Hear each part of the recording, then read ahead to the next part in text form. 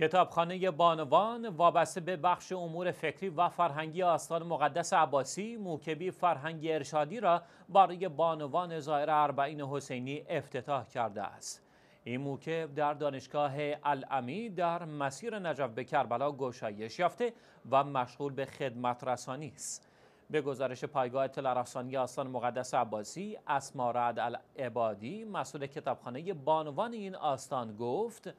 با توجه به ایام اربعین شهادت امام حسین علیه السلام و یاران با وفای ایشان برنامه های مؤثر و مناسب این ایام را در نظر گرفته ایم. او افزود این نخستین گامی است که برداشته شده و ما در سالهای آتی برای پیشرفت هرچه بیشتر آن تلاش خواهیم کرد.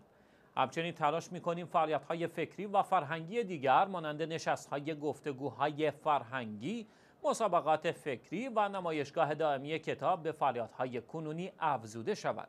این موکب که نسا حول الحسین علیه السلام زنان گرداگرد حسین علیه السلام نام دارد شاهد فعالیت های دینی مختلف همچون قرائت دعای ندبه در روزهای جمعه برگزاری ختم های قرآنی برای هدیه به شهدای کربلا و نیروهای امنیتی برگزاری مراسم عزاداری و همچنین طرح اطلاع رسانی است که پرسنل این بخش با ثبت این زیارت میلیونی از طریق مطبوعات و فیلم های مستند آن را اجرایی خواهند کرد.